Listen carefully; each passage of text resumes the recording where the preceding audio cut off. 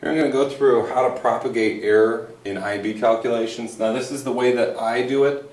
And so if you're in a different class, your teacher may show you a couple different things and that's, that's typical. There are a couple different ways to kind of manage this. This is the one I find to be the simplest and so this will work, uh, but you do want to be consistent with what your teacher says. So first of all, assigning error, what I, what I do is I just take the final sig fig and then I add a plus or minus of 0.1 of that value or, or of you know one place of that. Okay, so so if my final sig fig was in the ones place, then I would say plus or minus one.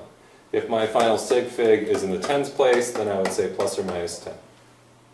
Okay, but the more difficult thing is what do you do when you're doing a calculation? So adding and subtracting uh, is one thing, and then multiplying and dividing is another. So when you add or subtract, then kind of what you want to do is you want to make it where this range makes sense. So this 2.4 plus or minus 0.1 really means that my answer is somewhere between 2.3 and 2.5 probably. Okay? And so what I want to do is I want to keep that honest with respect to my calculation. The way you do that is you just combine the two errors. Okay, so if this can be off by 0.1 and this can be off by 0.1, then the answer can be off by 0.2. Now if we do that with ranges, we have 3.2 to 3.4 and and then of course we have 3 2.3 to 2.5 so if I take the minimums of that I get 2.3 plus 3.2 that's 5.5 and 2.5 plus 3.4 is my upper end of that range 5.9 so the extremes of that lead me to this which according to my answer is perfect 5.7 plus or minus 0.2 5.5 to 5.9 so for adding and subtracting, all you do is you just combine the two different errors. Okay, and subtracting you do add them together uh, because they can both be off by that amount. Now multiplying and dividing is not quite as simple. So multiplying and dividing, we need, we need to keep our ranges honest. And the way you do that is you compare the error with the value in terms of a percentage. So here I have 2 plus or minus 0.01 times 4 plus or minus 0.01. 8 is my answer, 2 times 4.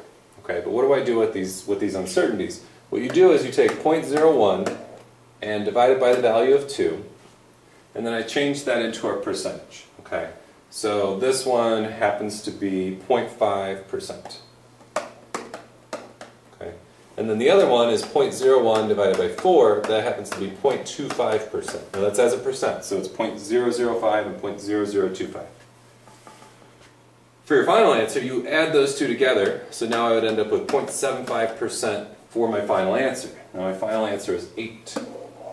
Okay, so to get my final answer, what I would do is I would take this 0.0075 times 8 and then I would use that as my range. And so that comes out to 0.06 when I do that. So my final answer is 8 plus or minus 0.06 centimeters squared. Okay. Now what I want to do then is I want to go through and I want to look at the ranges on that to make sure that that kind of works.